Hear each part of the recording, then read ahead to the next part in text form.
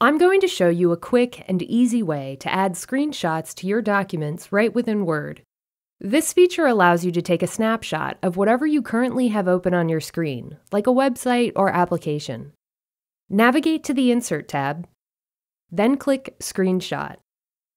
Here you'll see the windows available. Just click to select the window you'd like to capture. An image of the entire window will be inserted into your document. If you'd like to take a more precise screenshot without capturing the entire window, you can use screen clipping. From the Insert tab, click Screenshot, then select Screen Clipping. From here, you can click and drag to select the exact portion of the window you'd like to capture. Now you can add screenshots to your documents in no time at all. Goodwill Community Foundation, creating opportunities for a better life.